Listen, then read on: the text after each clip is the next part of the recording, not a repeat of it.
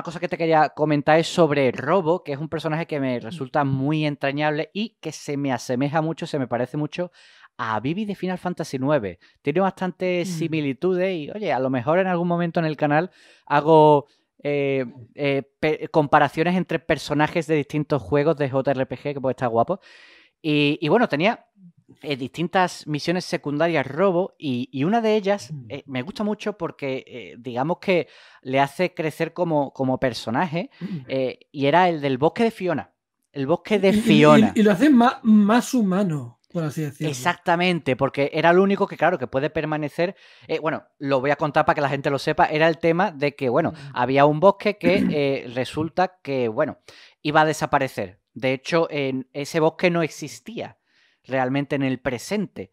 Eh, y a- me Mm. acuerdo perfectamente que en las Islas del Cielo había un NPC que le tenías que decir, la reina quiere quemar esta planta mágica, ¿qué hago? Y tú tenías el poder de decirle, guárdatela, quémala. Si la guardabas, Fiona era la heredera de esa mujer.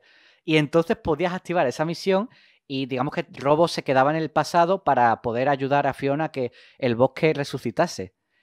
Pero eso es es, que es maravilloso. eso es maravilloso. Eh, eh, es que todo el juego eh, es una obra de arte, o sea, Sí, tan- sí. tantos pequeños detalles en tantas partes. Y, Es y eso, que, lo que tú dices, que lo humaniza, que a Robo, en este caso con esta misión, lo humaniza porque es Robo, haciendo un robot, el que toma iniciativas, el que, Mm. aunque al principio no tanta, ¿no? Pero como que toma iniciativa y dice, yo quiero salvar a los humanos, lo valora cuando realmente otra misión secundaria. Él estaba programado, luego descubrimos que él estaba programado para, para destruir a los humanos, para estudiarlos, pero para luego que los robots, lo típico, ¿no? Las máquinas eh, Mm. manipulen a- a- Y- al ser humano. Eso era No, te brillante. tenías que enfrentar lu- luego a otros también parecidos a él, que eran de.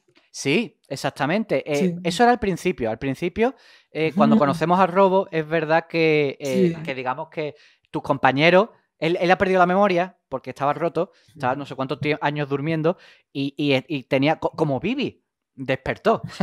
es que se parece mucho. Sí, Y, no. y- y entonces, pues, sus compañeros intentaron atacar a los humanos, pero Robo, como le habían, los humanos le habían ayudado, él, sin saberlo, ve natural que si a mí me han ayudado, pues yo también ayudo. Y se enfrenta a sus parientes. Es que Robo Por genial. eso es más Claro. humano. Exactamente. Claro. Y luego en esa misión del bosque. Luego, después, cuando conoce a, bueno, a su pareja, ¿no? Que es como una especie de robo eh, rosa. Rosa y con lacito. Sí, sí.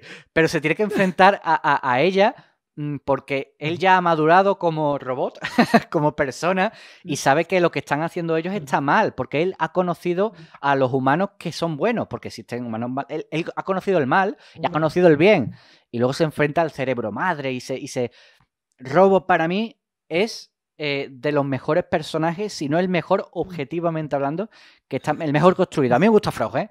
Pero Robo, bah, mucho Robo, ¿eh?